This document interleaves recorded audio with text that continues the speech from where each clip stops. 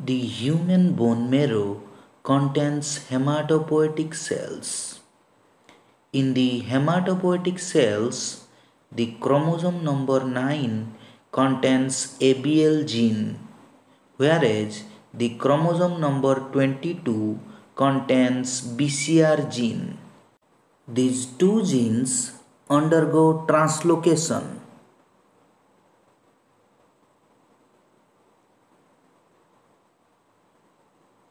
The translocation produces DER9 and DER22 chromosomes. The DER22 chromosome is called as Philadelphia chromosome.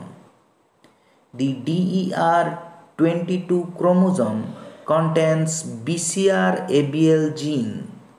If we give a closer look to BCR-ABL gene, we can find a breakpoint. This BCR ABL gene undergoes transcription and translation to produce BCR ABL fusion protein. This fusion protein is a protein kinase. Let us talk about how the BCR ABL active fusion protein induces the leukemia like CML.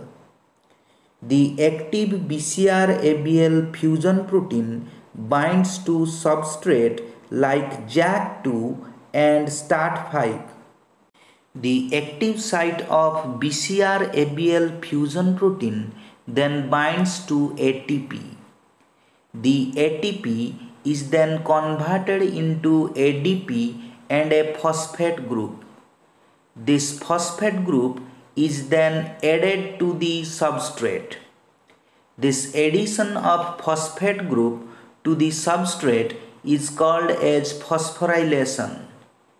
Due to this phosphorylation, the substrate becomes active. The activated substrate and the ADP then leaves the BCR ABL fusion protein the activated substrate then transmit a signal for cell proliferation and survival. As a result, the leukemia like CML occurs. Now, let us talk about what happens to a CML patient when his or her BCR ABL fusion protein is blocked with Gleevec the BCR ABL fusion protein binds to a substrate. The active site of BCR ABL fusion protein binds to the drug Gleevec or imatinib. As a result, the ATP cannot bind to the active site of the fusion protein.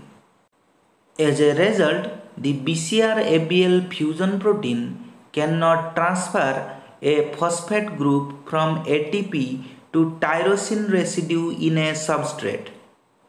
This unphosphorylated substrate transmit no signal for cell proliferation and survival.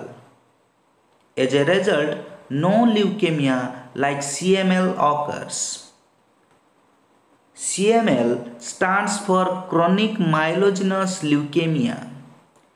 Gleevec is also used to treat gastrointestinal tumors. Gleevec can be taken orally. Please like, subscribe and share.